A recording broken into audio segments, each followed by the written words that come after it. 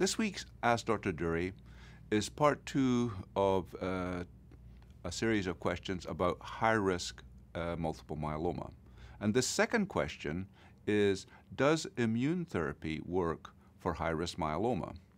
And the answer to this question is yes and no. Uh, there are some immune therapies that can work, but others that uh, do not work as well. The main reason for this uh, discrepancy is that with high risk disease, the, the main aspect to this is that the high risk, the aggressive myeloma cells are actually evading the immune system. So the immune system is not working well, the immune system is actually compromised.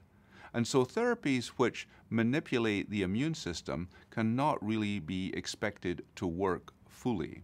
And so drugs that would fall into this category are drugs like elotuzumab and the PD-1 inhibitor, uh, the Pembro drug, uh, also a trade name Keytruda. These drugs have been found to not work alone against myeloma because they are manipulating the immune system but are not sufficiently strong to tune it up and do a full job. Used in combination, they can sometimes work, and there are trials going on right now uh, with regard to that. However, the type of immune therapy which is very exciting right now is where basically the immune system is being replaced in a tuned up fashion. And in this case, the best example is using what are called CAR T cells.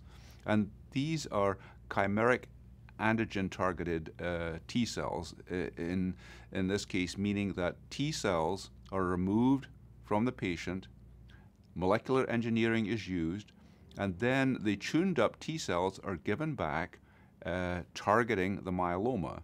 In this case, you are actually replacing the immune system. And so in this case, there is an expectation that the therapy can work well. And there have been several papers published now showing that some dramatic responses have been seen. And so there is a lot of enthusiasm about this type of immune therapy approach. And so the yes no to this question is that no, elotuzumab, uh, PD inhibitors, and also uh, vaccines probably are not going to be sufficient to work well in high risk myeloma.